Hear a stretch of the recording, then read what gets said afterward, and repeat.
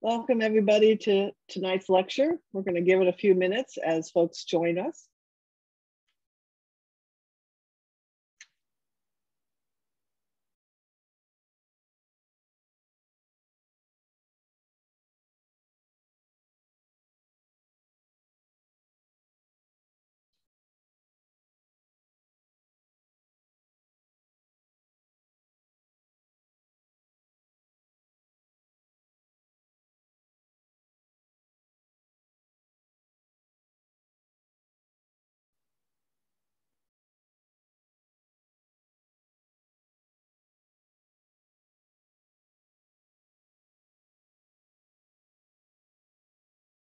I'm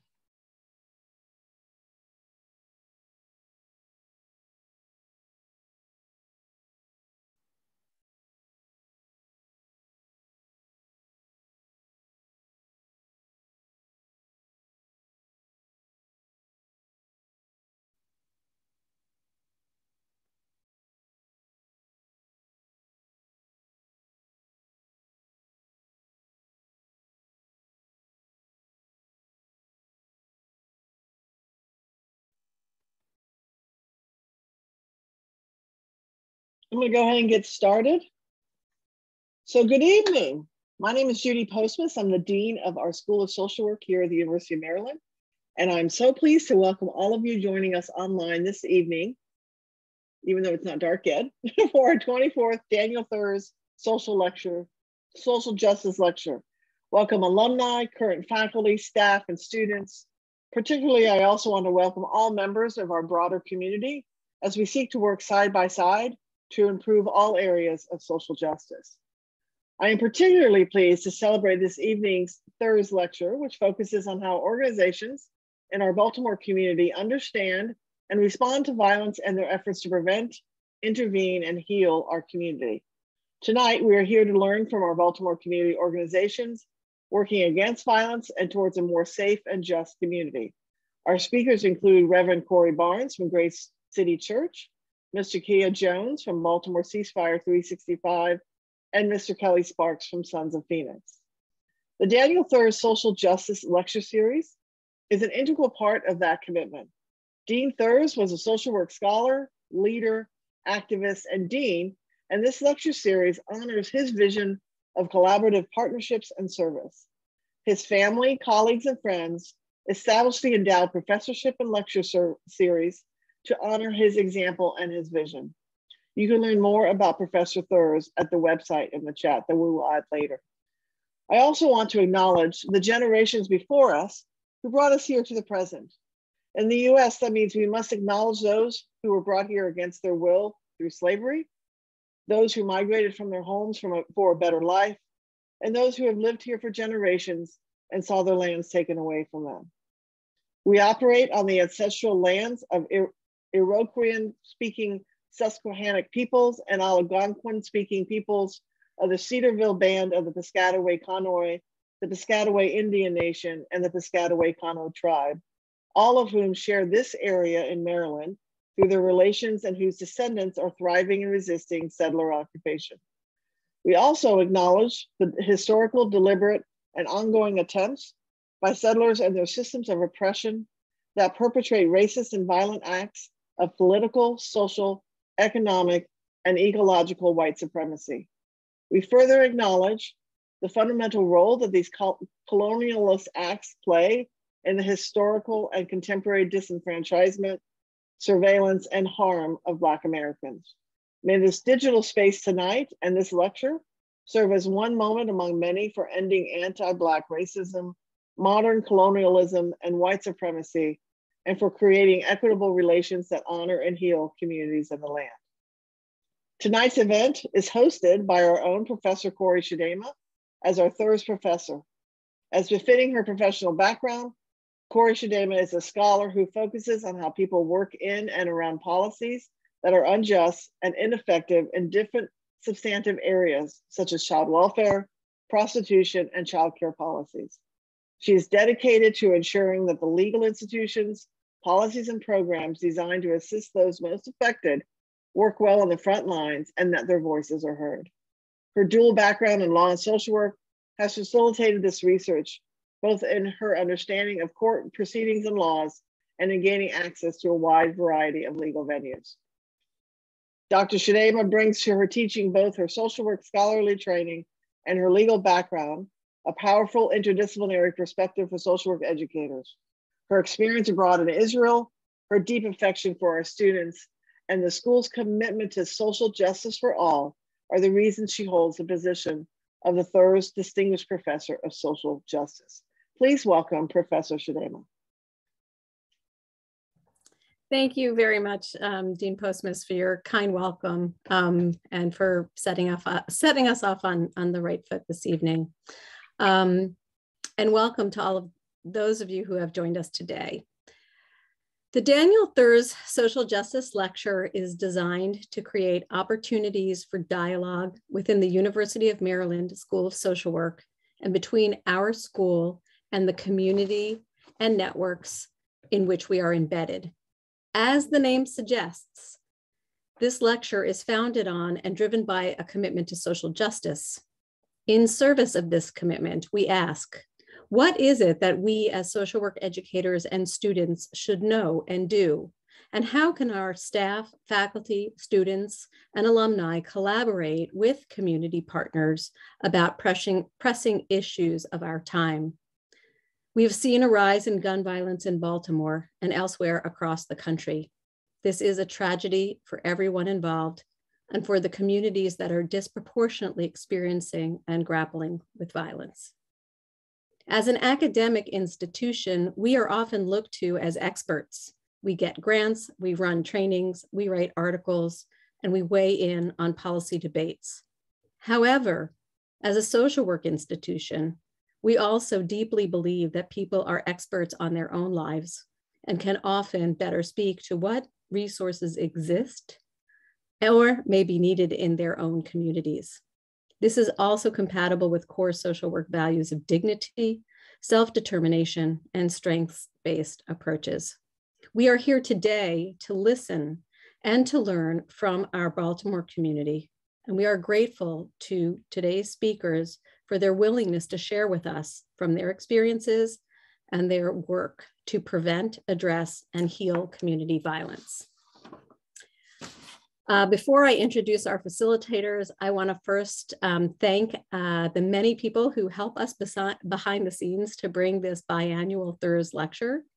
Um, I want to publicly acknowledge and express my gratitude to Shante Hatch Hatcher, Naisha Jones, Anita Bryant, and Isabel Garcia.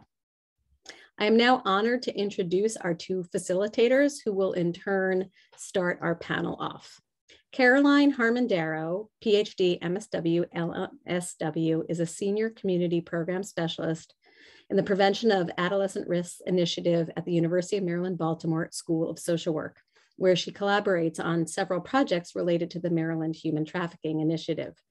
Her research and scholarship center on reducing violence, victimization, and incarceration, including through a graduate research assistantship with the National Institutes of Justice. And she serves as the co-chair of the Grand Challenges of Social Work Smart Decarceration Committee Policing Work Group.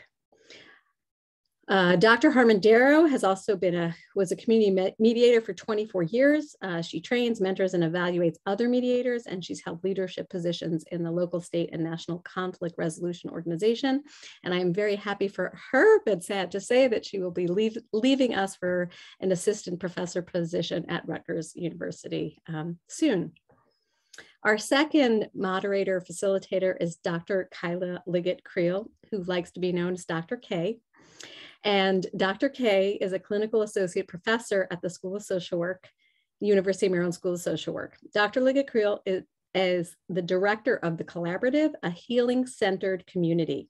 She is chair of the Mayor's Youth Trauma Work Group, facilitator for the Mayor's Cabinet for Boys and Young Men of Color, and a staff person for the Baltimore City Trauma Task Force Youth Work Group. Dr. Liggett Kreel is also the founder and director of the Healing Youth Alliance, and she's working on several initiatives partnering with community-based minority-run nonprofits to prevent and heal from community violence. Dr. K's area of specialization is youth leadership, healing centered engagement, trauma, and equity.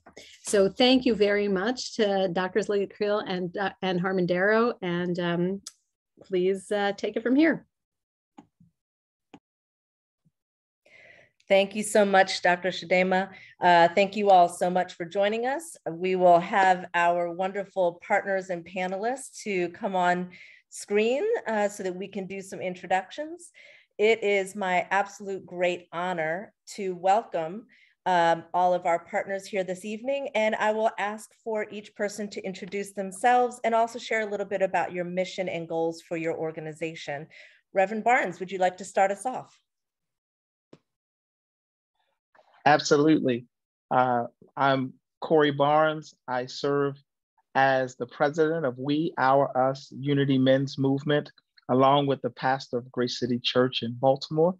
Um, we, We, Our, Us is an organization that does four things. We protect, connect, mediate, and message in the community.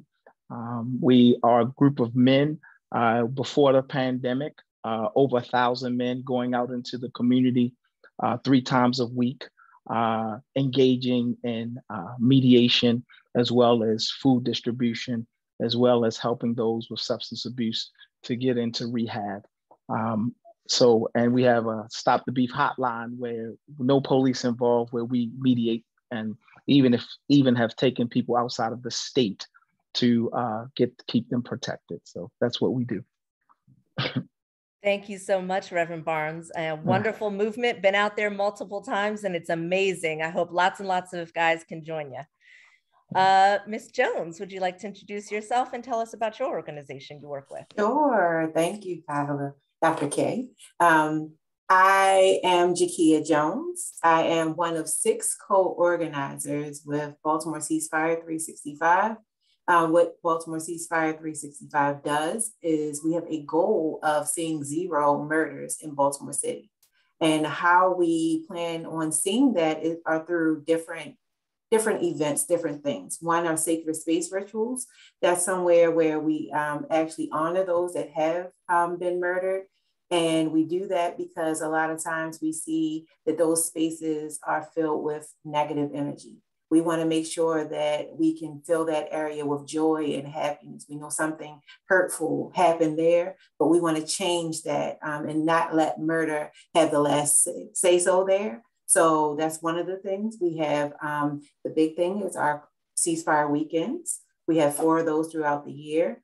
Um, the last one was just this past weekend. So we have it Mother's Day weekend um, to honor the fathers and mothers that have lost um, children due to violence. We, the next one is in August. That is our inaugural um, annual um, ceasefire weekend. And um, that is held the first week weekend in August. Then the next one after that will be the November ceasefire weekend, also the first weekend in November. And then there will be the February ceasefire first weekend in February. Um, the other thing is that we ask everyone in Baltimore City to take the Peace Challenge. That's the other portion of the Baltimore ceasefire. And, and by doing that, we know that everyone can stand to be a little more peaceful. And so if you take the Peace Challenge, then you're taking the challenge to watch your word, watch your words, your thinking, um, as well as your behaviors. Because sometimes we forget that our words have power, and you may not be out committing violence or violent acts, but you may be speaking ill will on people. You may be thinking negative thoughts. So it's important to think of those also. That's what we are. That's who we are. Awesome. Thank you so much, Ms. Jones. And you can always tell when it's ceasefire weekend because the vibrations are high and the energy is flowing and the peace is wonderful. So thank you so much. Mr. Sparks, uh, can you tell us about uh, Sons of Phoenix? Sure will. First of all, uh, good evening, everyone. My name, uh, my name is Kelly Sparks. I am the founder and director of the Sons of Phoenix. We engage community members at in their life by providing services such as case management, refer them to mental health services, uh, drug treatment programs, employment, vocational training. Also, we reconnecting them as far as getting back in school, also uh, college. We also work with young uh, youth and adults doing gang prevention or gang violence or conflict resolution and try to mediate when there's a conflict between people in the community so that it don't or won't lead to violence. Thank you.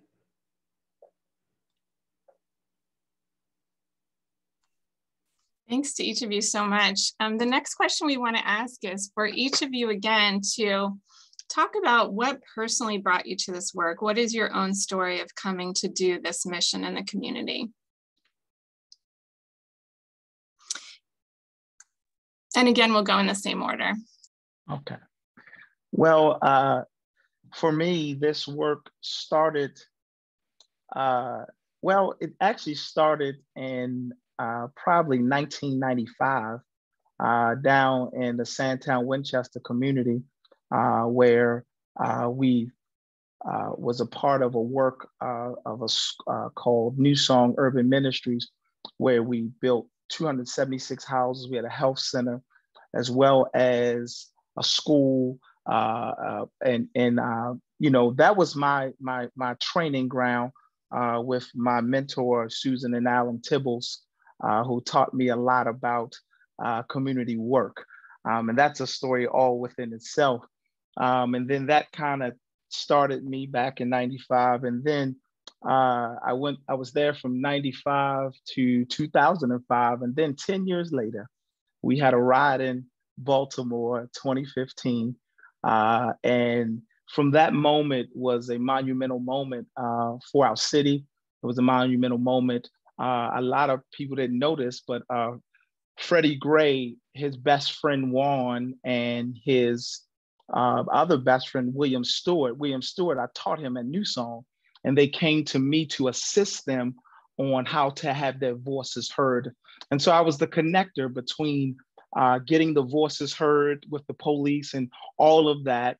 Um, but uh, our city had it had gotten beyond the the players of Baltimore, and it became a more of a national thing, and it got out of their control.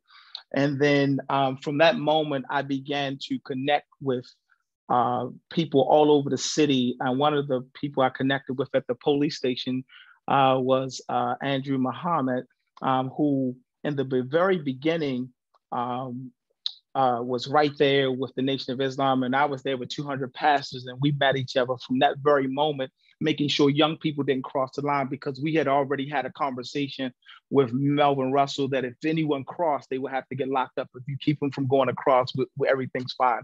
So we kind of had a negotiation in that moment, and so our job was to keep the young people from going across the lines at that moment. Anyway, that started from 2015. And from 2015, uh, we know the Mayor Catherine Pugh did something that was very bold, which was to have an office in the mayor's office on African American male engagement. And from that moment, um, to concentrate simply on African American males, well, we know the story with Catherine Pugh. And from that moment, the question became, how do we make this, give this back to the community? And that's when I came in, where one who has been doing nonprofits for over 15 years it was important that we make this a nonprofit, give this back to the community and the community. And from that point on, that's how I got involved in this work. And we've been engaging. The unfortunate process 2015, we've had over 300 murders ever since. And so we've been engaging. We felt that, and with the consent decree, uh, the police couldn't engage. So the question becomes who's going to be the engagers? And we said, as men, we're going to be the engagers, going to get our young men and engaging them. So that's how we that that was the thing that sparked us to jump out in the community. Thanks, Ms. Jones. For myself, um, I have been personally affected by violence since, well, murder, since um, high school. My first experience with it was when my cousin was murdered and when I was in high school. So from that point, um, my family has experienced a lot of murder. There's a lot of my little cousins growing up without their fathers. And um, it has definitely impacted me to the point that I knew that I couldn't just let that happen and not do anything. So um, my first thoughts were that, I would go into criminal justice and um, somehow change the violence there. And it didn't pan out. I ended up in social work. I'm a recent grad of the School of Social Work at University of Maryland, 2021. Um, so here I am just because it's been impacting myself as well as my children, um, my close friends. And I, I just couldn't sit by and not do anything. I wanted to be a change maker.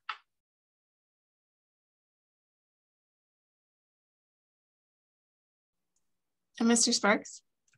Yes, uh, once again, uh, good evening. Um, what brought me to this work, I believe that um, in 1992, I was uh, selling drugs. I, I think I ran like four districts. Um, then to make a long story short, um, a sticker boy came up on me and I took his gun and I shot him, which changed my life. I wound up in 954 Forrest Street. They put me, um, even though I acted like I was grown, they put they put they put a young man in uh, the penitentiary around wolves, and I had to survive. I had to have a survival's mentality. I realized um, in, in the beginning part of my incarceration that I had to change because the person I wound up killing was, even though he was a stick up boy, I grew up with him. And at one time we used to mess with sisters. So that touched me even more. I knew his children. So um, reached out to the family. Before that was a such thing as, you know, uh, you know, talking mediate between the families, you know, for a perpetrator that actually shot someone, regardless if he was in the right or the wrong.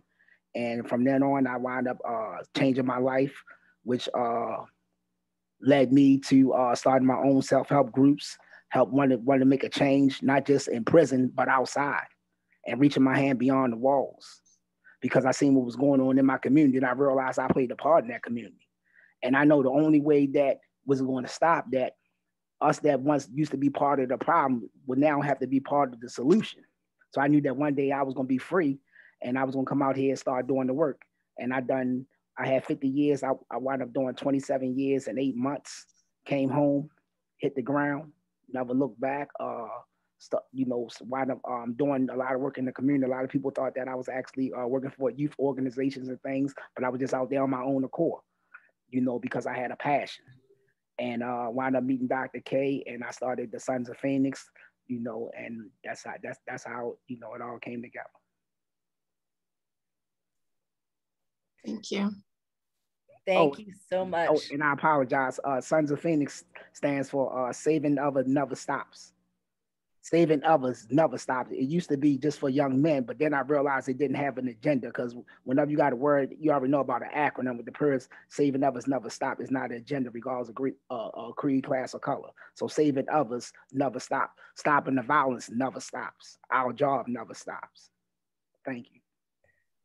Thank you. And thank you all so much for sharing uh, information with us about your history, um, the work that you all have done, and what brought you here today. Um, the next set of questions is really open for all three of you, and there's no specific order, so you can just jump in whenever. Uh, so the first question is, what do you believe the role of social workers is in and alongside community movements? I'll go. So I think social workers are a very important part um, of community movements. Um, and I'll give you some examples. Um, policy, um, social workers are good in the macro uh, side with being in the thick of everything. Um, and I'll give an example. Uh, I work for an eviction prevention program. And all of this is systemic and goes together with violence. So if we can change certain things, then it, it eliminates violence and reduces violence. So um, basically having people who are knowledgeable on the ground, knowing what's going on in the communities um, is important to, for policy change purposes. Um, they know what, what uh, challenges they are having. They know um, what's been working, what's not working. Um, also, um, while in the street, they have a special skill set to be able to uh, not only communicate with with the um, with people in the neighborhoods, but also they allow them to feel heard. Um, that's been also in my experience with ceasefire is going out. A lot of the corner boys, that, that's my focus. Um, justice involved youth is really my um, my focus. So having just talking to the corner boys, that's the first thing. They just want to be heard. I go out and I ask them, what do you need to be a better version of yourself? And just listening to them, they tell us what they want. So I, I believe the skills that a social worker has are important for outreach. They're important for um, evaluating um, programs, um, policy change, um, things of that nature. I'll just go ahead and add on to uh, Jakia's uh, statement, which is, I think uh, as one who engages in the community about 22 times a month, along with um, over the past three years, um, the role of the social worker is very important because uh, if you think about Maslow hierarchy of need, uh, when we're approaching individuals, uh, the, physio- the physiological and the safety are the two major things. Uh, the social work is the resource engine to connect those things. So as we are engaging, and as Jakia said, getting the information, uh, what is the necessary thing? One of the things that we don't engage without resources. That's what make we are us a little different. Uh, we don't go without anything in our hands. So what the social work does is equip us with more things in our hand so that we can connect that problem to a solution and then we can begin to transition individuals off the corner. So social workers are resource engine, but here's the catch. Uh, it is important uh, that we not wait on them, the individual to come to you, but you stand beside and go to the community and, and begin to walk with them and bring the resources to them. And that the day of waiting on people to come to you has shifted in this season. And so we just got to be aware of that. And we need to partner with community uh, people who are engaging so that you can come with the resource in your hand. So I, that would what I would say. Yep. Um, once again, um, Kelly Sparks from of Phoenix. Um, I think that um, first of all, we got to understand um, the, the very importance of uh, social work in you know in its totality when it comes to uh, re re-engagement and um, dealing with our community. I think they are the backbone. Now, what I mean by this is that Dr. K, right? Since I've known her, she's been advocating, and, not, and, a lot of people that think like Dr. K, right? Instead of being in the office, not saying that being in the office is bad, right? But when you're doing a lot of outreach and you're doing a lot of engagement, I think that the partnership going out in the community, not all the time, but enough times where as though you can make that that connection. Uh, the social workers things that I can't do, you know, that the social work can't do in the community, but we come together and we can do together. Like far as like the social worker can remove barriers that I can't remove because I don't have the certifications, you know, uh, access the resources, you know, connect us to the resources or connect the community to those resources. Um, so I think that that um, the social work department is very key, you know, in us going forward, you know, especially in this day and time, especially every time you cut on the news and you see the violence.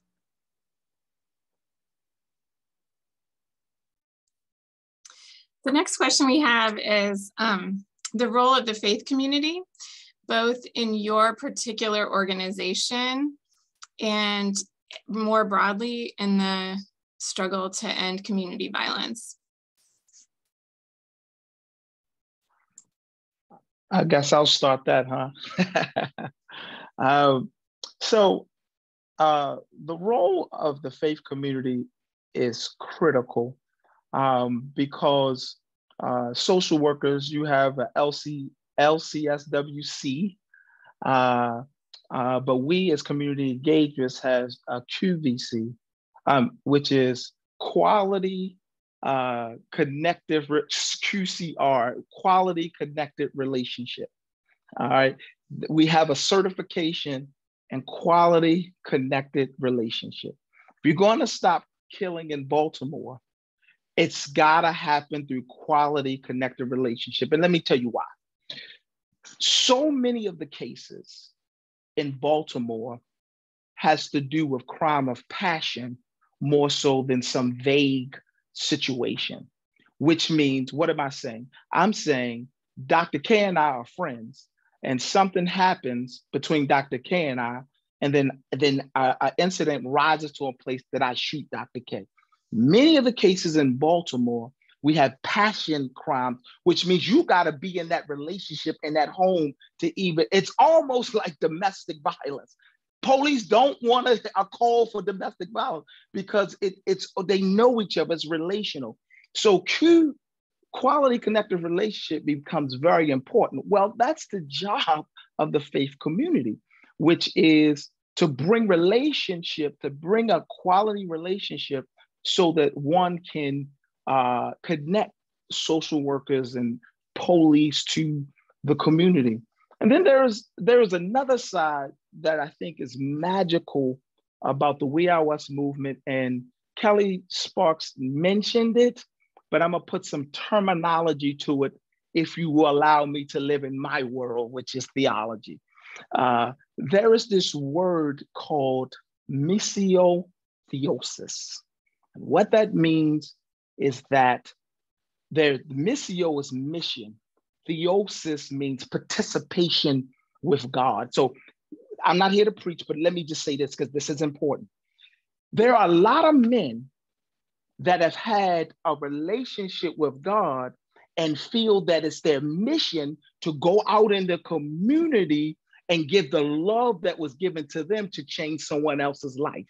Messiotheosis, it's a participation, an experience that they have that then go out in the community and then help someone else. A lot of the men that we are us are experiencing this, are going out out of that. It's that's not going out because just violence. It is a call. It's a mission for a different. It, it's interfaith for you know other religions. It could be seeking enlightenment, whatever. But it is a missional thing uh, that people and, and Kelly Sparks spoke to it. You know, it's it's this thing that that's inside of them that makes them want to. So faith has a very important role on why the men are out there. We don't talk about that. We don't, you know, a lot of men are, uh, that are with me are saying, I'm out here because I've messed up the community. And now that I have a relationship of love, I got to give that love back to change my community. missio theosis, a participation. So that that's a I just I ain't mean to get deep, but just wanted to kind of throw that out there. Yeah.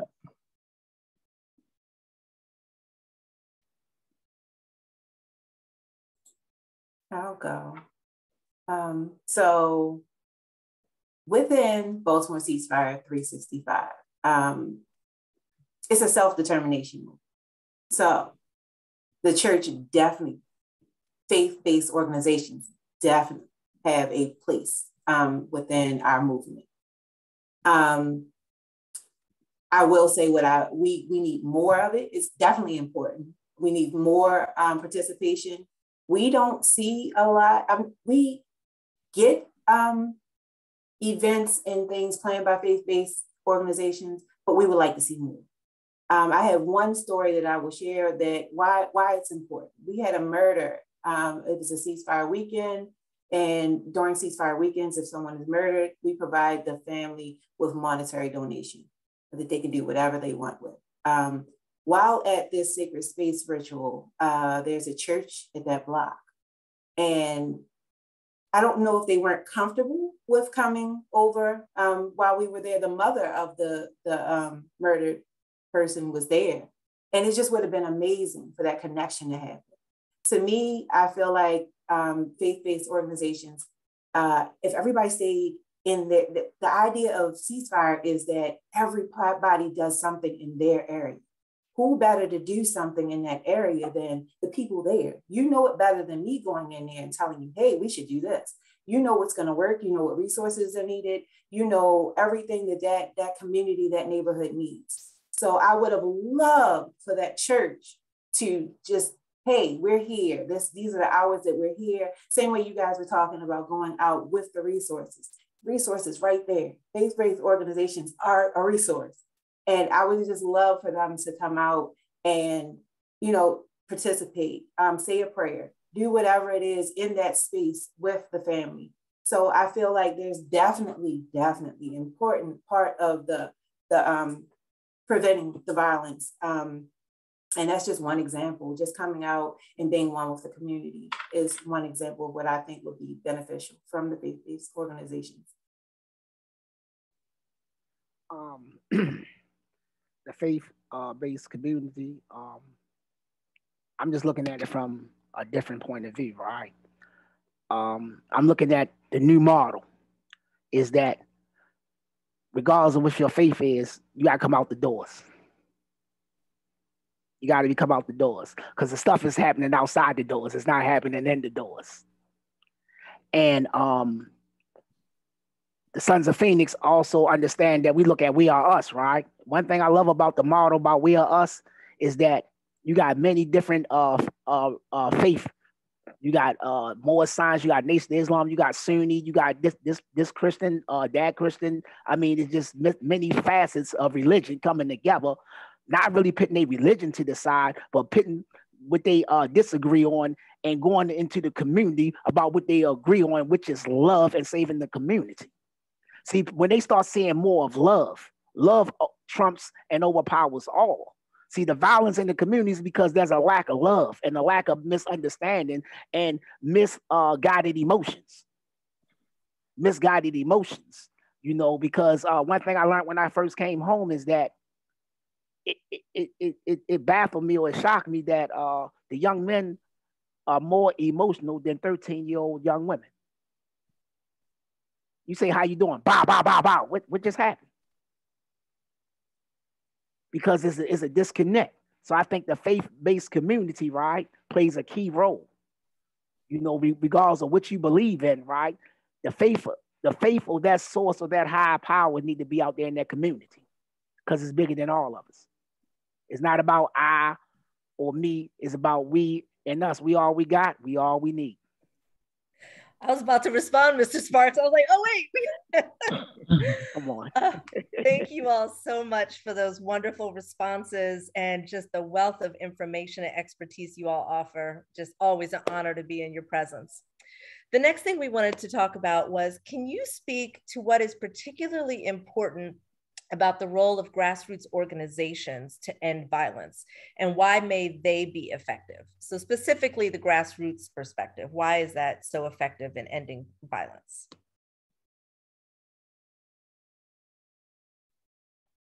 Okay. You want me to go? Uh, okay. I mean, I think I, it goes back to uh, back to the quality connected relationships. Um, grassroots organizations have a more intimate uh, understanding of the dynamics of each community. And we, you know, social workers know this, right? Uh, the different dynamics of each community. Uh, you know, you could go on one side of Hanover Street and the other side of Hanover Street is a whole different world. Uh, Otterbein versus um, versus Leadenhall, you know, right? So they are two different worlds, same looking house, uh, but two different worlds, right? So uh, it is so important uh, that the grassroots organization would understand that you can't be on the outside and cross Hanover Street and not understand that this is two different cultural worlds unless you are grassroots and embedded into that into that organization and that relationship. Um, and and again, you know, I I I continue uh, to push this idea of quality connected relationships along with understanding that um, again you know even in baltimore we understand that the crime that we hear a lot of is crime and passion which means relationship plays a very important part in the prevention of the crime. Again i ask you to put the hat on as domestic violence it's a reason why the police roll their eyes when they see domestic violence. It is because once you get in that, it could turn on you. Um, so that's why they. So when we look at the crime of pet, these are so many, and I don't have the percentage numbers, and I, I will not stand in front of scholarly social work and throw out a number.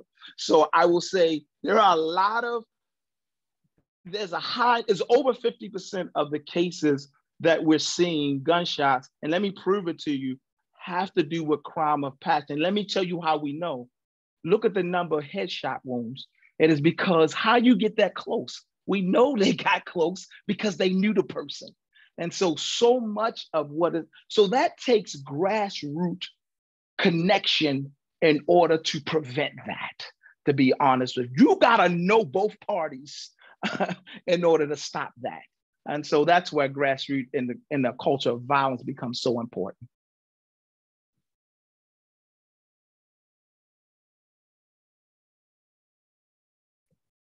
Who would like to go next? Ms. Jones, Mr. Sparks?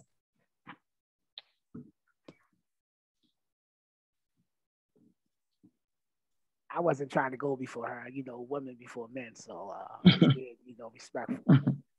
Um, grassroots uh, are most definitely uh, key because uh, in order for it to work, you gotta have somebody that know the community, the ins and out of the community. Not saying that nobody from the outside can't come in, but they got to come in with a grassroots organization. That's why they call grassroots because they got their roots embedded in their community whether they was part of the problem or part of the solution. Because everybody that used to be part of the problem, they ain't always uh uh what part of the solution. So how you cut it? So um, I think they go hand in hand. But one thing that I want to uh, point out, right, with grassroots organizations, right, a lot of them do the gritty work that never gets mentioned, and we don't want it to get mentioned. You know, stuff that calls at three and four in the morning, you know, uh, uh, uh, uh, mediating, somebody cussing you out, somebody disappointing you, and you still there to help them out, you know, uh, helping a child get from A to B, regardless of what that might look like. You know, even when you tired, we still doing the job because struggle in this is most definitely ordained. So uh, the grassroots organization most definitely play key because they see things from a different perspective because they are right there and they got their roots right there. So other organizations can partner on, you know, and help, but they need the grassroots organizations because you can't say that you from uh, uh, Beverly Hills and understand what's going on on Pennsylvania and Gold or North Avenue and uh, uh Pennsylvania because that I mean, come on, be real. And you gonna if you if you come to stand there, talk about you need help, you're gonna stand out, and everybody gonna be looking at you like you don't even belong. So you need somebody from the grassroots organization to show you around. And you know get you in, in, entwined or uh, get you uh, connected to what's going on so y'all could do the job. So oh, so that we could do the job. It's don't forget it's not about I or me it's about we and us. So uh that's where we at. Thank you. And sister don't let me go before you know more. Thank you all right um so I will echo what Mr. Sparks said as well as Reverend Barnes. Um, rapport and trust. Uh, a lot of times the grassroots organizations have done that gritty, dirty work. Um, we are told things that the police aren't told. You know, we see things, we we hear things, we're trusted, we're respected. Um, a lot of times they're in their lane, like everybody just said. Um, they know the communities, they know the neighborhoods, they know what what works, as I kind of mentioned earlier. And while we can have other programs come in and help out and, maybe sponsor something, or they have um, initiatives and ideas, they, they're great, but they definitely need to talk to the grassroots organizations, as Mr. Sparks said, so that they can find out um, how to help. How do I fit in? Where's my place in this? Um, it just give that, provide that respect. Um, and then I believe it could be more helpful for the outside organizations to come in and help.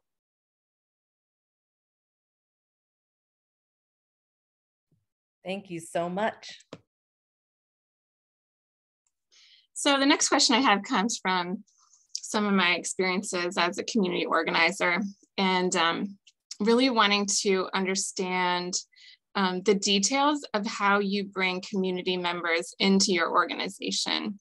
How do they become um, involved with you and how do they stay involved? And how do you do kind of recruitment onboarding training like all of that all of those pieces? Um, what's the nitty gritty of getting involved with your organizations? Uh, kelly said you got to go first your kid so sorry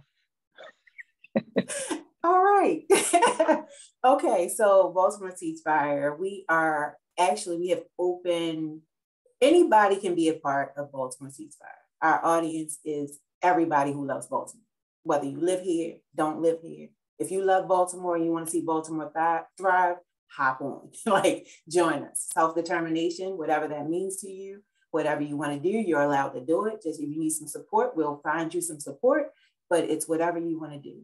Um, how, if you want to be more intimately involved, then you can become a, a ceasefire ambassador. Um, applications are open now. You can go to baltimoreceasefire.com to fill out an application. Um, it's not your normal application because again, this is self-determination. So it's not like a job interview or something like that. Uh, we just want to make sure that you're loving on Baltimore and you're going to do the right things out in the street. Um, so how how we engage was that also the question? Okay. Um, outreach and um, like I said, we we don't target a, a specific group or anything. We go in like anybody. Everybody can reach somebody. So that's the idea with Baltimore Ceasefire. Um, I may, I'm good with the youth. Uh, so like I just go out, I'm, I'm able to have conversations where other people are like, oh no, that's not, that's not my lane. So you choose your lane and you you ride it like and, and just collaborate with who works with you, what works with you. That's why I love Baltimore Ceasefire because it's all about your com- your comfortability. Wherever you feel like you fit, you go. If you feel uncomfortable, you come talk to somebody and we figure out how that works. Um, but you stay where you're you're most where you feel you're needed and you feel you're most useful. Um, you do it that way, and it all inclusive. Um, ambassadors start at the age of 12, and youth are very important. We have uh, half of our ambassadors, about 20. We're like we're more than 50 now ambassadors. Um, but we have a good amount of youth, but we're always looking for more because we need their voices to be heard. Um, so I would say we're targeting youth, youth um, ambassadors. So if you know any uh, youth, 12 and up, send them our way. They want to be out here in the streets trying to make uh, Baltimore a little more peaceful. Um, I think that's about it.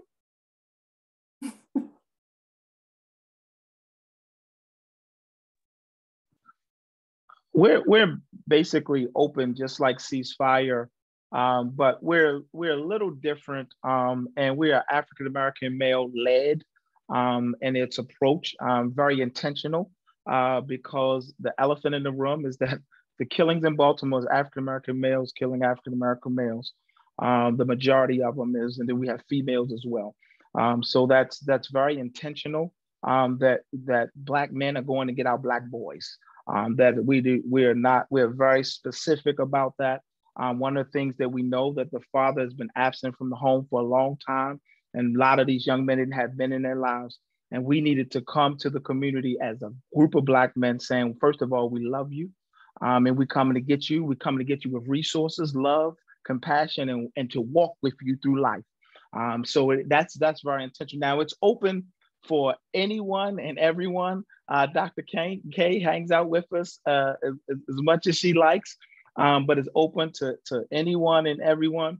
Um, one of the things is that we're, we're unapologetically uh, clear that we are in the most dangerous and violent areas in Baltimore City um, intentionally.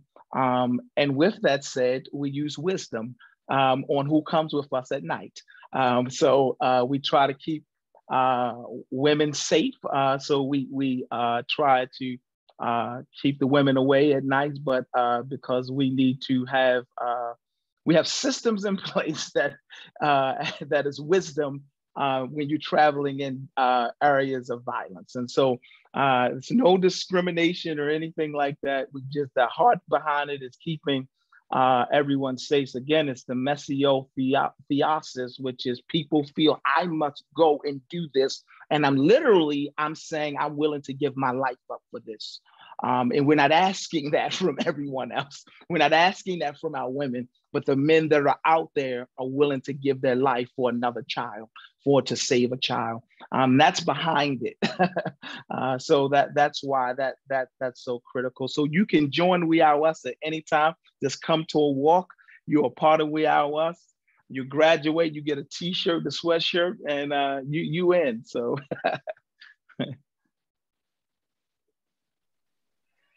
um, the Sons of Phoenix, we are open as well, right? Uh, we looking for uh, youth that uh that that's trying to uh deal with their service hours. Uh, we want uh in uh, interns in college, uh, volunteers. You know, whatever you think you can help bring to the organization to make the organization better and stronger. You got to have a, a will that failure is not an option because we can't go into what we do defeated with a mindset that we already defeated. We got to come with energy, a different type of energy, an overwhelming energy that's backed by love. That's force and power. And once people see uh, us in the communities and we and we out out there doing outreach and engagement, right? They're gonna want to hook on anyway because we contagious. You know, we like we, we we got that disease that we ain't trying to go to the hospital for nobody to get rid of because we're gonna be out there saving others, never stops. So if you're trying to get your service hours, you're trying to do intern and you're trying to volunteer, whatever that looks like, you know, you know, just follow us uh, or uh, sign up at uh, sonsofphoenix.org. We got a, we got a, uh, a spot on there where you could do for volunteers and everything, and you shoot us an email, and uh, you know, we'll connect you. It's not that hard. It's just simple. You know, save, save, saving, um, saving others never stop. It's not that hard. It's just simple. We just make it hard. We just make it hard. We all come together. We're gonna make it easy. You know, leave the politics out of it. Save our people. Thank you all so much. Um, so the next question that we want to talk about is, is about resources. What resources do you think community-led efforts could benefit from? If you're thinking about resources that would be helpful, what, what, what are those resources? You have to go first, Jakia. According okay, I love resources. First, I want to say, please, um, I feel like there should be resources that are actually functional. Um, we have resources in place, and our biggest failure right now is that we are linking people and the organization or the place that we're um, linking them to is out of funding, um, isn't um, in operation anymore. That builds distrust, that builds frustration, so that's number one. Make sure that the resource is functional and operational. Um, resources that are needed. Uh, when we're out doing outreach, that, those are one of the things we ask about. Our felons really, they don't want to be in the streets. They don't want to be out there. Um, they don't want to kill people, like despite what some may think. Um, they're asking for programs that once they complete them, they actually can get a job. Their problem right now when I do outreach is that several of them have been told, hey, if you just, we have a job, um, a program for felons. Once you complete it, you'll be good. Once they've completed these programs, they were unable to get a job because their felony was still there. So um, again, distrust, what happens, they go back out in the street. They're telling me, you know, look, we have families to feed we have um, needs. So we we have to survive. So that's number one that, that I hear. Um, they are not. They need job training, but another story. Um, there was a group of people in Park Heights that got job training, and uh, a job came out said we'll hire all of you guys with the felonies. You're all good. They want the job, so they went. They weren't able to pass pass the math test. Um, it was embarrassing. They did not want to come back. They offered tutors. They told them they could come back and, you know, we'll still help you. They did not want to come back. They're men. They, you know, that that was degrading. That was embarrassing. And I'll just stop there. We won't, we won't go, you know, I don't want to go um, take any more training. We're good. We're going to go back to what we know. I'm comfortable here. I can make money. It's, it's a given. So I don't know how to fix that. I don't, I'm just going to throw that out there. And our um, people that are watching can kind of figure out there needs to be something where they feel safe and comfortable to receive training. Um, they feel uh, welcome, um, non-judgmental environment, and something that actually has some success at the end, and not just a, I have another program under my belt, but I'm actually able to start working after I complete this program or during the program. Um, so felony uh, resources is, is huge uh, in, in what I've been seeing. And outside of that, housing issues. There's so many housing issues. Um, and I don't know that we have funding. I don't know, but I'm just going to throw that out there. We need housing resources. Um, people are having difficulty, especially coming out of the pandemic, paying rent. Rent is huge. Um, and finding housing is another thing. So housing, job readiness um, in, in a safe environment and help for our justice involved youth um, as well as adults. I'll begin with something that's not as tangible, um, which is the number one resource that's needed right now is trust. And Jakia, actually, you actually nailed it. It is trust. And let me just say this trust is not because of your degree, it's not because of your last name. It has nothing to do with what you bring.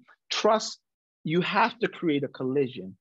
And this collision is integrity and competency. When those two things crash, trust begins to happen. I, I, and I know you are social workers, I don't want to insult you. So here it is. When competency, when competency crashes with uh, integrity, oxytocin kicks in for a baby.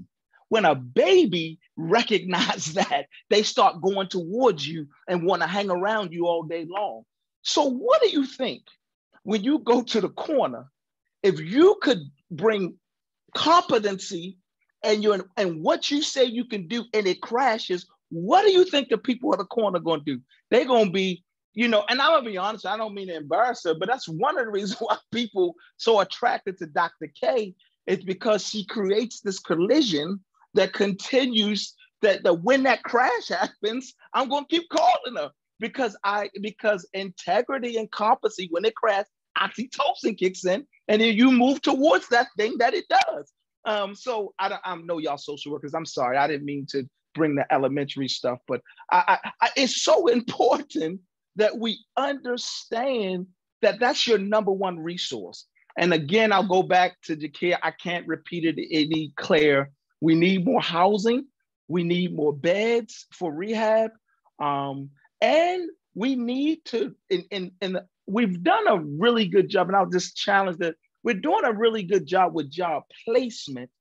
The problem is uh, keeping people in those jobs and walking with them um, through because we have a theory which is not true, which is if I get you a job, my life or things are going to be better, right? That's this idea.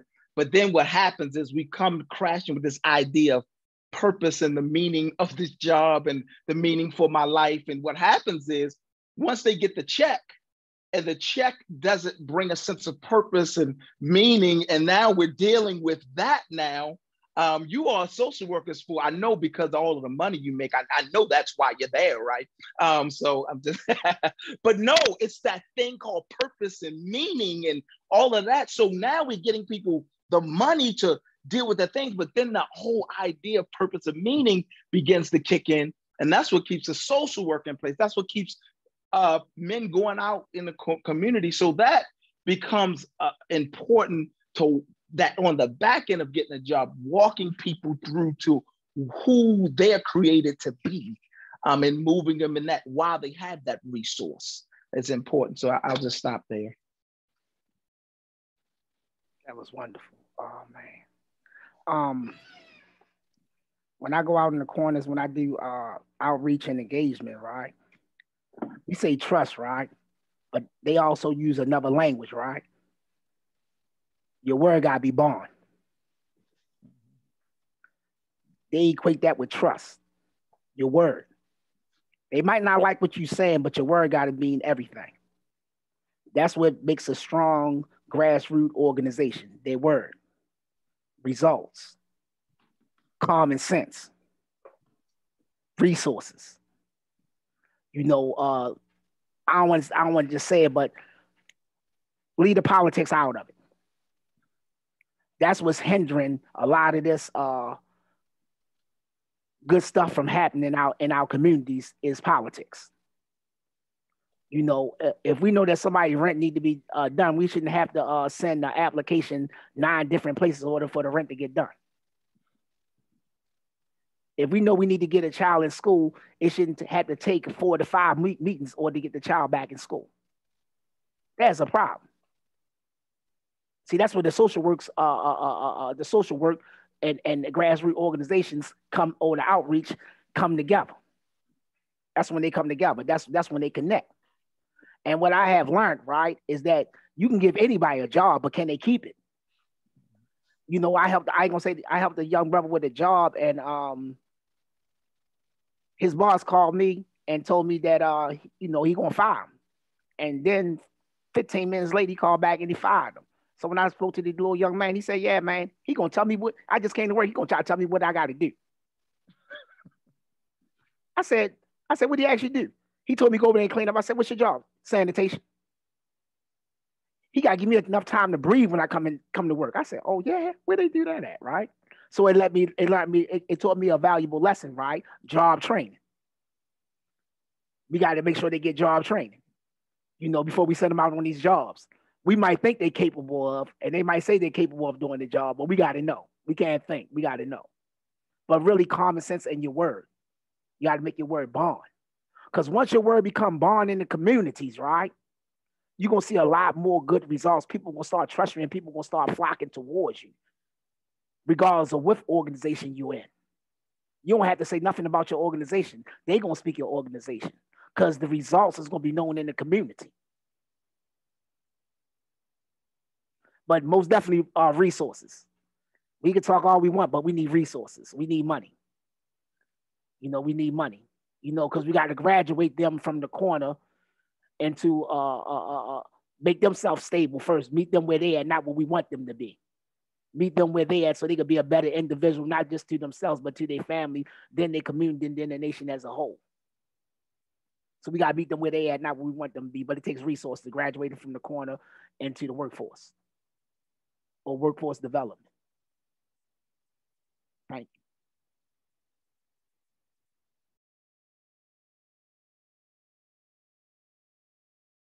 So our next question has to do with this institution that we're speaking within right now. Um, University of Maryland, Baltimore receives millions of dollars um, to study violence and to study the best possible ways of doing prevention, intervention, and healing. Um, so kind of knowing that how does how do you think umb should best use its resources in service to the community? I'll go. Um, so i am macro. So program evaluation um, is so so important more so than i think we we really no, but we really need to actually get down into the work and, and do it. Things like um, Mr. Sparks had mentioned, applications. These are the things we need to be evaluating. We have a lot of um, applications and processes for, for different things. And a lot of times our community members aren't able to do these things. So they're at a disadvantage because now I have, and, and especially with the pandemic, now we have electronic applications. So I'm not able to go print something or be given a piece of paper and, and give it back to you, which was already an issue before the pandemic. That, you know, that was hard to do as well. But now I have to use a phone in order to complete this application for services that I need. And my phone isn't, the document isn't um, is, isn't phone compatible, isn't compatible with your phone. Your tablet if you're lucky enough to have a tablet, isn't compatible, um, then you're sending someone who may have a disability, may have a physical ailment or, or anything like that to the library to go get this done.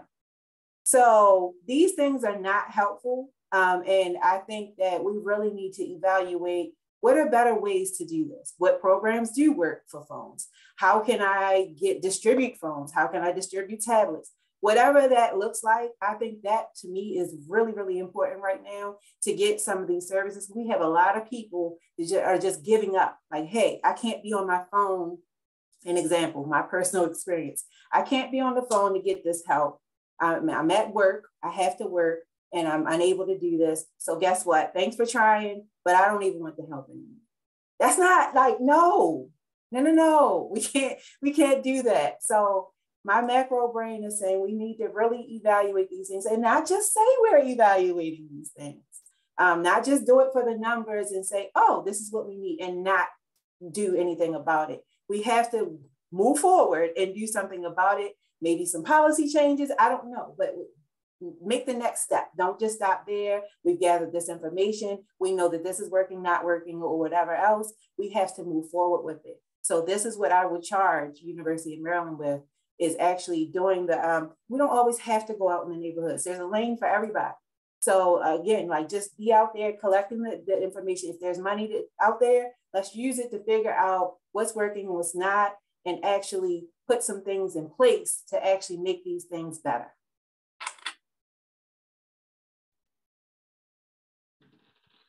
I think, um, and I've been thinking about this a lot, which is the University of Maryland is strategically placed to do something probably no other institution is able to do. And it is to reverse care. Reverse care. And what, what do I mean? University of Maryland is probably the very few institutions because of your reputation of shock trauma. It's to start at the shock trauma all the way back into the home. So, because one of the things that Dr. Scalea is so frustrated about is the returning of gunshot wounds of the same people. So, what would it look like if the School of Social Work and this school, the medical school, started at the table that the life was saved? Now, we do know the saving a life gives you the most influence on a person's life. So we do know if you save their life, you get to speak into their lives uh, in ways that you would never be able to. So if you took that victim and began to bring the school of social work in and began to walk backwards from the surgery table all the way into the home and then began to trend. University of Maryland is probably the only institution that have uh, that's positioned that way because of its greatness uh, to do that. So my challenge would be connect those two things so that we don't have to have this reoccurrence, or we can begin to see get get from the sur- the wounds of the surgery table of the body to the wounds of the home and have a full healing all the way into the home. So I, I would only pose this to University of Maryland because it, it's uniquely positioned to do that. So.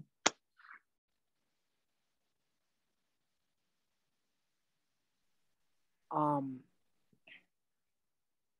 I think the University of Maryland should partner with communities rather to we need to see more partnerships uh, and backing of uh, uh, small grassroots organizations.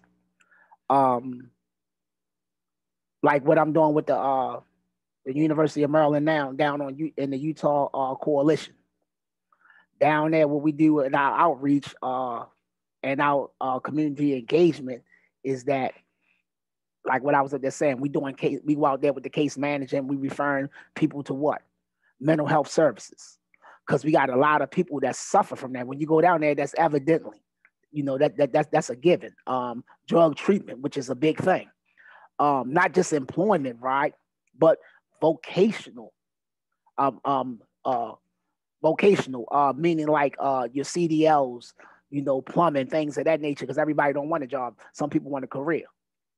Uh, reconnecting them to schools, because you'd be amazed how many people that's down there that's not in school that need to be in school. They don't they don't even miss it by this much.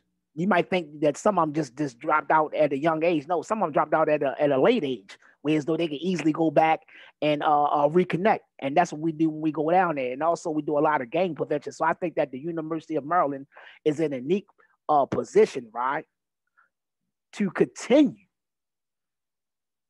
to back grassroots organizations rather or partner, not just uh, connect, but partner with grassroots organizations to the community. You know, and uh, we need to see more partnerships, not just with this the Sons of Phoenix. We just we just one of them. You got you got uh, it's a it's a lot of uh, good organizations out there that's doing a lot of good work. We're not selfish. We know that we can't do it all. We just play our part. Awesome. Thank you. Thank you all so much. Um, and those were wonderful answers to talk about what University of Maryland can do. Uh, we know that the university has historically had times where they have caused harm, and we continue to have times that we are causing harm. So, what harms do you all see that we may be doing now or perpetuating that have been done in the past and we're just continuing to do?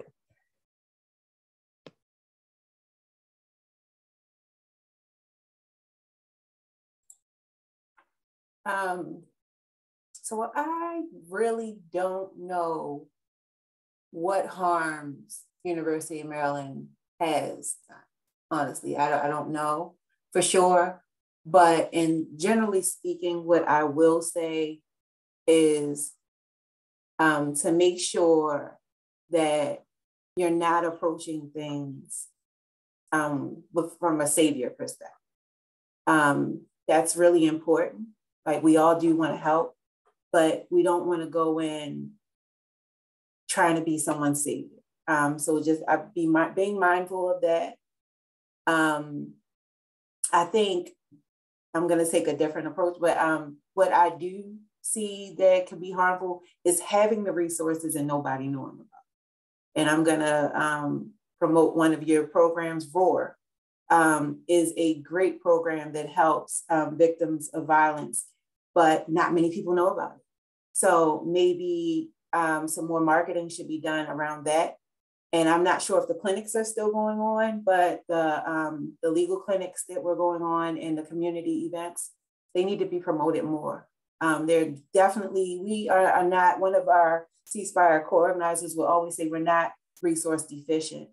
Um, we just don't, people just don't know about them a lot of times.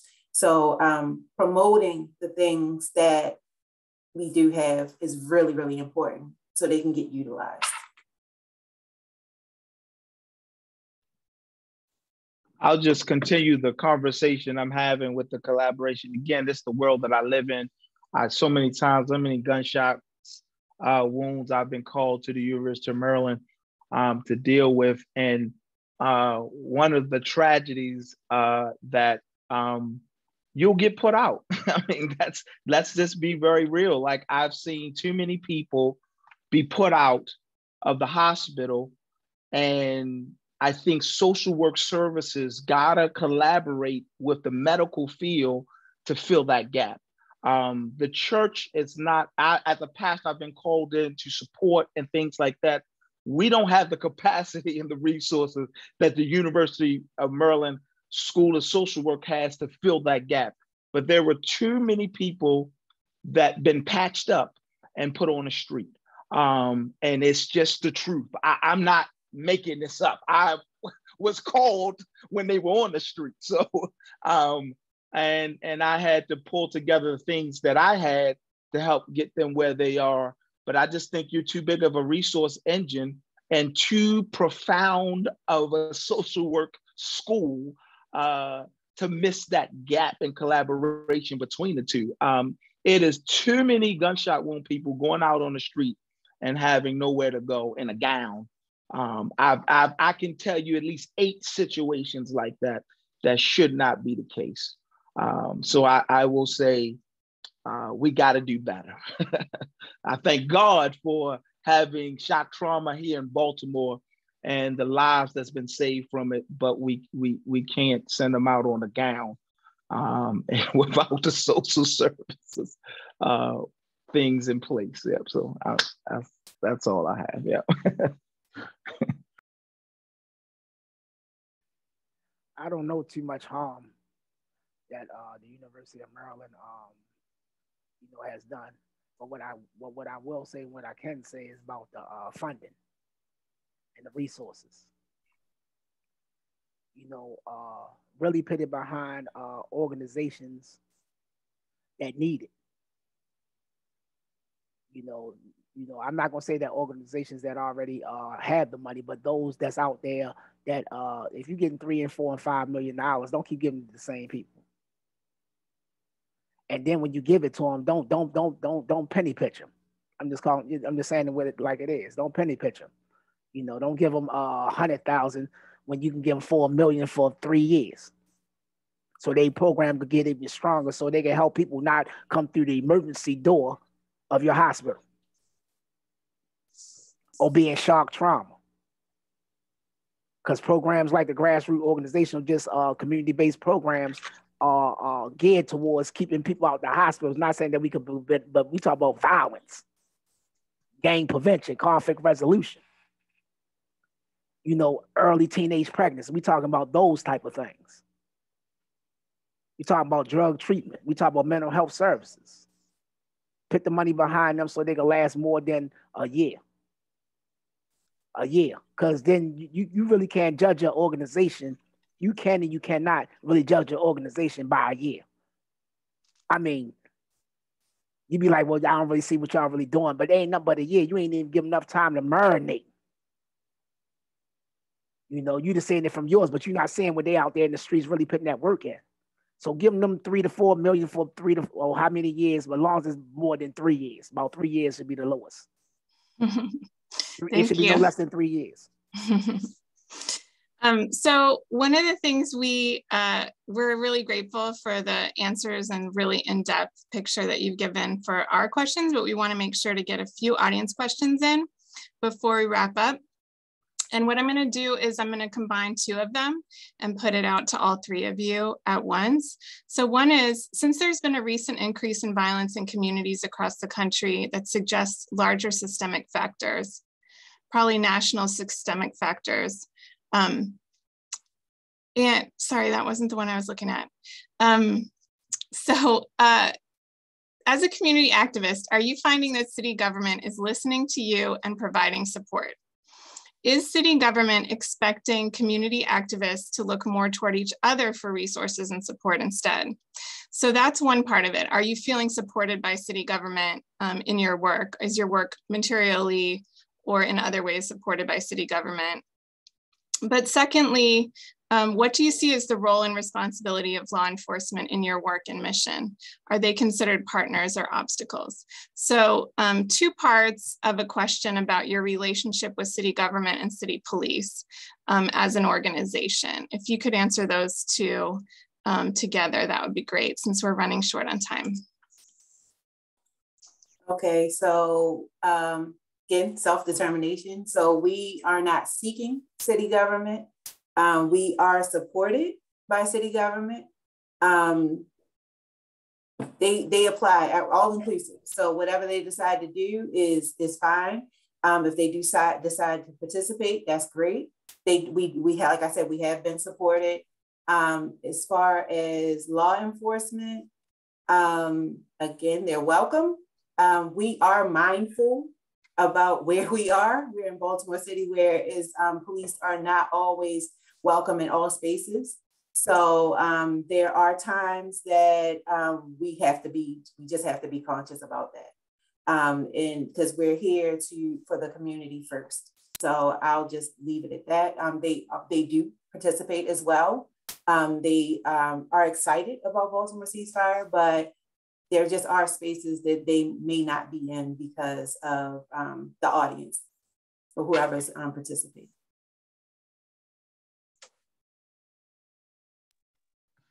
Mean, I'll basically say that very similar, which is uh, we the the the city government is supportive of of the work that we do. Um, uh, resources are kind of caught up in bureaucracy um, to support us. Um, so we have commitments uh, to support the work that we do, uh, but it's caught up in bureaucracy. Um, so that's the unfortunate part. But again, uh, we won't stop the work that we're doing because of the bureaucracy because we we need we need uh, we we're out there to help save our people um, uh, the second part of the question was um, I know city government, and what was the second part? Uh, the police, the role of the police, whether they're an obstacle or an aid to you. Yeah, I mean, one of the things that I think is important uh, under the consent decree, uh, the inability they kind of stayed away from engagement and being able to to be the engaging partner was important for us to do that engagement part. One of the things that has uh, been you know, during that time they were out, wasn't was kind of distance and not out of their cars and things like that. Didn't have much of visual presence. I will say that we've been seeing more of a visual presence of the police department and the relation. We do have collaborative. Uh, uh, we, there's collaboration now um, that I think is important. Uh, collaboration meaning uh, uh, of of what we need from them as well um, in the community, and they're always open to supporting us. But we kind of, uh, again, it's about trust with the individuals that we're serving. So we don't, you know, we we commit to stopping the problem with no police involved. Um, and a lot of so where they don't where the community don't trust the police we get involved and kind of jump in. So it's not a bad relationship but just some of the work requires us to have distance between the, uh, us and the police so that we can then get into the real story. And just understand there's always there are three stories. It's the story that the news tell it's the story that the police tell and it's the story that the community tells um, and and you know the community story is really the most important story because you get the in depth of what's going on on the grassroots level. So, yeah. Thank you. I'm gonna start with the police department. Um, being in the streets, you know, which I am almost every day, you know, that's a, a bridge that has to be rebuilt. We see a lot of uh, positivity, but it ain't moving fast enough. You know, um, the trust is not really there. So when I'm out there doing um, gang violence or conflict resolution, I know that in, in a lot of them situations, I can't involve the police. It just ain't a good look for the community. And the community wouldn't even allow me to do that. I don't care who you say you are. Mm-hmm. You know, it's, it's just certain boundaries and certain codes and unspoken words that just goes on in, the, in, in all communities, right? So we got to rebuild that trust, right? And um, we're not saying that every uh, uh, uh police officer is bad, because we do have some uh, police officers that I walk with and that I'm um, friends with, you know, you know, rather than the police department or the University of Maryland uh, police department, such as Parlo, MJ. But I know what I can call them on, and I know what they're going to do. If I bring them around somebody, I pretty much know how that's going to plan out, not less, you know, uh, from some odd reasons things go left. So that's a real uh, thin line, and that's that's that's just a reality that we just dealing with right now. Not saying that it can't get better. That's just a thin line, and we got to be very careful when we're trying to build rebuild the trust of the community. You know, because then your life will be on the line.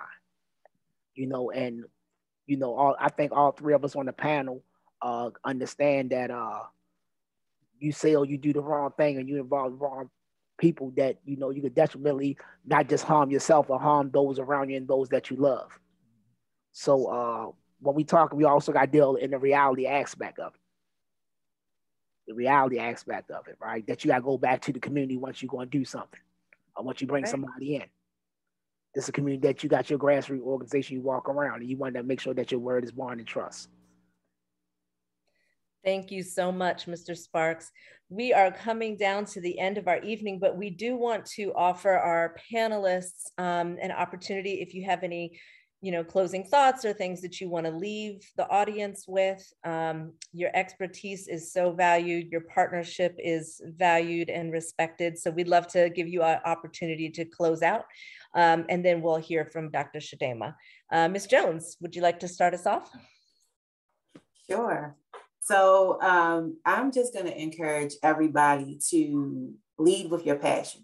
Like your passion is going to show you where you need to be, how you need to do it. Um, and it, it's going to get you everywhere you need to be, like I said. So Uh, I'm speaking from my experience and just, just lead with your passion. It'll guide you everywhere you need to be. I'll just echo that as well as I think purpose and passion becomes important.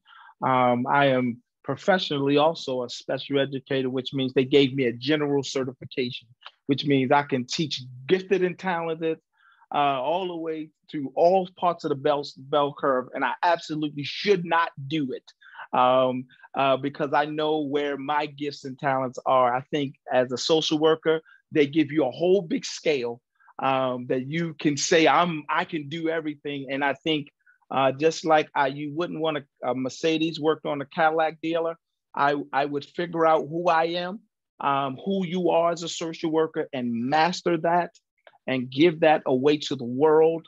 Um, and be very good at saying that's not what I do, but I can recommend you to someone else. But what I do is this, and be the best at what you do. So that would be my suggestion. um, before I get to all that, I would say that uh, you know we all blessed because some people ain't wake up the day to have a good or a bad day, and when you're going through it, you don't want to hear, but at least you got a chance to correct that wrong, right? And help somebody in their uh, struggle, their sojourn, right? Um, we make things harder than what it is. And I think that we need to do more partnering. I think that's key right? Put your differences to the side. And not just like we was like to talk about the faith-based uh, communities, right? You got a lot of organizations that's in the community that people don't even know there's in the community. I've been around people, they talk about, you know, that's such and such down the street. I be like, I've been living here my whole life. Where they come from? So you gotta come outside your doors. Everybody outside, take a look around and go and help. Nobody on the sidelines. We have no time right now for people on the sidelines. Everybody gotta get in the fight. Stop talking and if if if if you want if you if you got an answer, just hop in the fight. You know, become a volunteer. You know, do something. You know, something is better than nothing. I don't nothing. I, I ain't had nothing uh, real uh, educated and all that, even though I'm a doctor. now you know, Mr. Sparks, you always are spreading that wisdom and helping us all know exactly how to move in this world. Um, Thank you all so, so, so much. Uh, Dr. Shdaimah.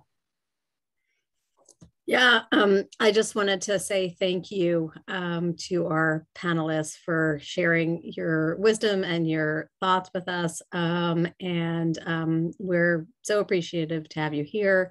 Um, I have put links to all of your organizations in the chat um, as people were asking questions so that I encourage anybody to please, you know, um, look at the organizations. Um, if you want theirs, contact us to reach out to our panelists.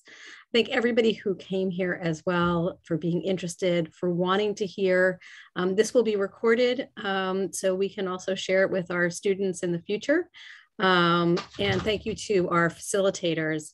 Uh, the Thursz lecture is a biannual lecture. Uh, we also co-sponsored with ROAR, which um, Ms. Jones, you had mentioned, that is Rebuild, Overcome, and Rise Center, and our very own UMB uh, Be Well uh, lab, and also the Collaborative as a co-sponsor, the Healing Centered uh, community that, that Kyla is um, engaged with. So thank you all for being here. Um, please look out for our emails uh, in the future. There's also a link to Daniel Thursz. And again, thank you for sharing your wisdom. Like I said in the beginning, you know, we know what we know, um, and there's a lot we don't know. And um, so thank you for sharing your, your wisdom with us.